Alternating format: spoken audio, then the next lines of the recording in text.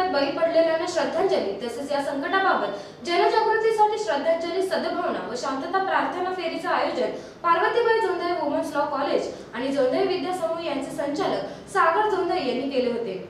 यात विद्यार्थी शिक्षक शालेय कर्मचारी यांनी सहभाग घेतला होता. कोरोना आजारावर औषध अजूनही सापडलेले नाही. त्यामुळे या जागतिक रोगाला रोखण्यात हवे तसे अजून यश प्राप्त झालेले नाही.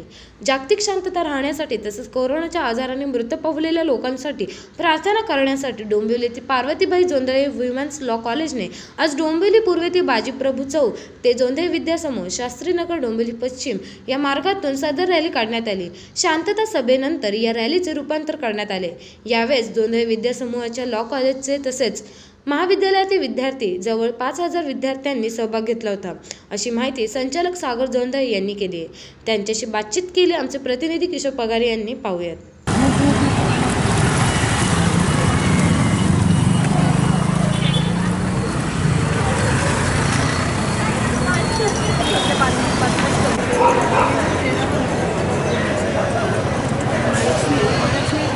सारखा महाभयंकर आजार चीनमध्ये आला आणि चीनची लागण जी आहे पूर्ण देशामध्ये आज आपण पाहतोय की याची लागण झालेली आहे.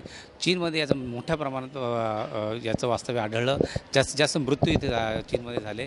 परंतु भारतामध्ये सुद्धा याची लागण होऊ नये किंवा भारतामध्ये सुद्धा कशा प्रकारे जनजागृती हवी याकरता प्रथमच या डोंबिवलीमध्ये सागर जोंधळे यांनी यांच्या शाळा कॉलेज यांच्या तर उपक्रम राबवलेला आहे.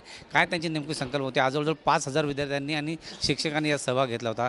नेमकी काय संकल्पना आपण त्याच्याकडून जाणून घ्या. सागरची कशा प्रकारची संकल्पना? नमस्कार.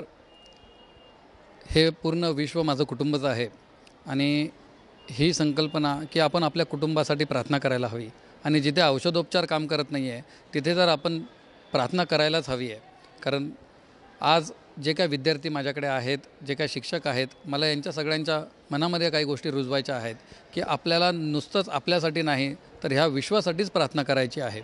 आणि आज आपण बघतो आहे की चायनामध्ये किती झपाट्याने हा रोग वाढलेला आहे. किती झपाट्याने दररोज त्याच्यामध्ये हजारो लोक मरत आहेत.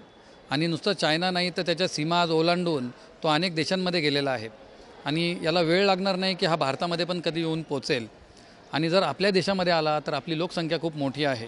त्याच्यामुळे सरकारनी आणि आपल्यासारख्या माझ्यासारख्या मोठ्या मोठ्या काही ऑर्गनायझेशन्सनी छोट्या मोठ्या ऑर्गनायझेशन्सनी कुठेतरी हे अवेअरनेस प्रोग्राम्स समोर आणले पाहिजे. डॉक्टर्स लोकांनी समोर आलं पाहिजे. त्यांनी लोकांना सांगितलं पाहिजे की कशा प्रकारे आपल्याला बचाव करता येईल ह्याच्यापासनं. कारण आपली लोकसंख्या खूप मोठी आहे आणि याच्या बचावाकरता आम्ही जी आज रॅली काढली अख्ख्या डोंबिवलीने त्याचा प्रत्यक्ष कुठेतरी घेतलेला आहे. आणि मलाही नक्कीच विश्वास आहे की कुठेतरी डोंबिवलीकर आज आमच्या मुलांच्या उत्साह बघून कुठेतरी तेही याच्यामध्ये स्वतःचं काळजी घेणे नक्कीच माझ्यासोबत काही विद्यार्थी सुद्धा आहेत. आपण त्यांना विचारू की त्यांनी सुद्धा ह्या रॅलीमध्ये सहभाग घेतला होता. त्यांचं काय मत आहे ते जाणून घेऊया.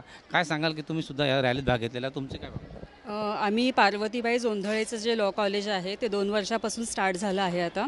आम्ही सेकंड इयरची बॅच आहोत. तर आमच्या कॉलेजनी आमच्या टीचर्सनी प्रोफेसर्सनी आणि इवन प्रिन्सिपल सरांनी आम्हाला खूप प्रोत्साहन दिलं की कोरोनासाठी एक म्हणजे एक जनजागृतीसाठी म्हणून एक रॅली आहे.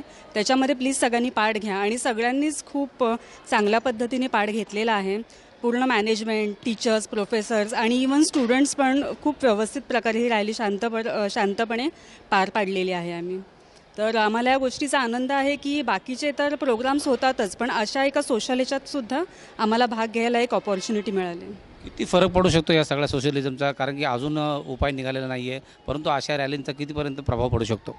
अशा रॅलींचा नक्कीच प्रभाव पडेल. कारण की शेवटी एक एक माणूस जेव्हा कॉन्ट्रीब्यूट करतो तेव्हाच जनता बनते. आणि जरी ते चायनामध्ये असेल तरीसुद्धा आपले प्रेयर्स आपण त्यांना देऊ शकतो. आणि खूप फरक पडतो जेव्हा आपण आपली मेंटॅलिटी चेंज करतो. त्याच्यामुळे अशी जनजागृतीचे कार्यक्रम खूप इम्पॉर्टंट आहेत.